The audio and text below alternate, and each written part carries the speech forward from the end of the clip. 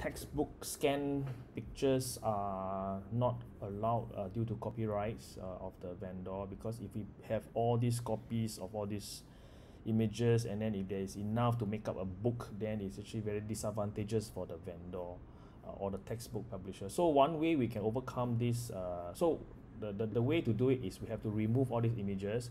But as a value add service uh, in SLS you may want to convert this type of material into uh, non-copyrighted materials.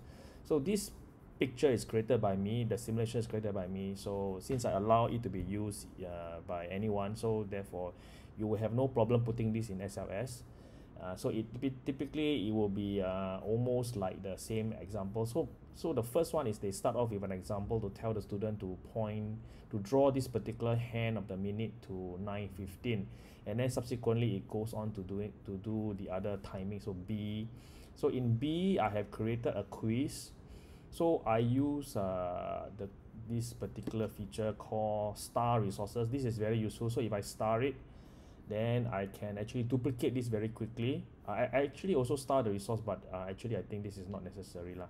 So I just want to star the the quiz because the star the quiz allows me to very quickly duplicate the the quiz. So let me come here. Let me come here and show you how I can quiz this. So this is the quiz I already started.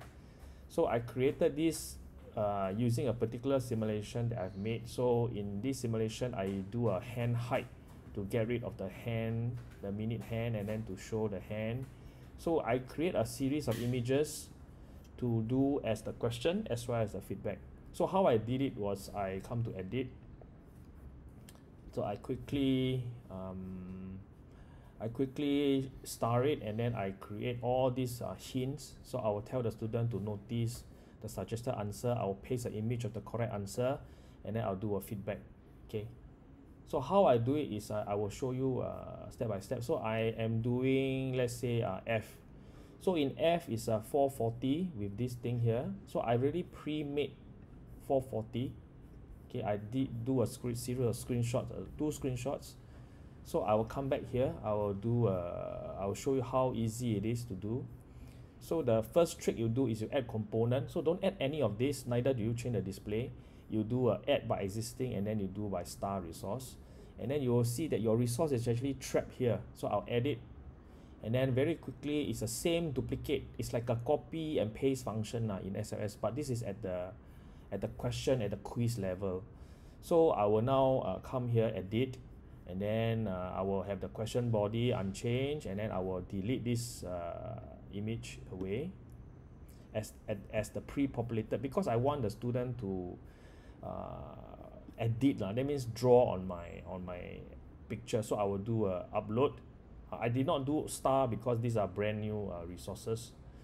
Uh, and and star has to be done strategically lah because the star obviously has a limit of 300 so I, I will typically add the media uh, title and then I'll make it more use more searchable maybe 440 clock you know something like that.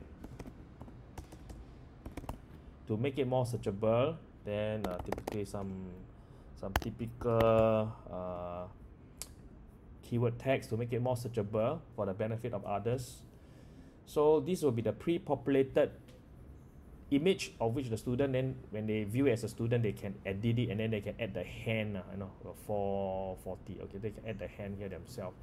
And then after they add the hand the, the suggested answer will then point them to the hint which is uh, point at 8 and then uh, we will then also give a image typically to guide the student because uh, they seeing the image will probably be easier. I'll upload a new image and I'll add the correct answer as a feedback again I may want to uh, tag it. So I will tag the URL so this is for uh, I noticed that double dot actually doesn't work if you try to save as a media title lah. So you you can't do the tag. You can't change that that dot to a to a double dot lah. So the double dot will be done here lah okay? And then always make it downloadable okay? Because these images are free for use on the internet and then finally of course the feedback that you may want to give. So uh, tell the student a series of uh, like rubrics like that lah. So it's a feedback. So now notice that the the clock has to end at 8 with a pointer like a symbol like an arrow. And typically the minute hand has to be longer than the hour hand. So now these are some of the hints. And then uh, you, you may want to uh, include this. So you that click save. And there you have it. You have very quickly uh, basically copy and paste uh, from something like this you know something like this converting uh, textbook images into uh, SLS where we use the uh, free response and then after that we use a pre-populated uh, use a pre-populated answer for student to add the the lines uh, in order to indicate the, the time. So this is one way you can actually help uh, the community gallery or in fact you can also make your own lessons uh, more interesting rather than taking images from textbook lah, which is actually a copyright infringement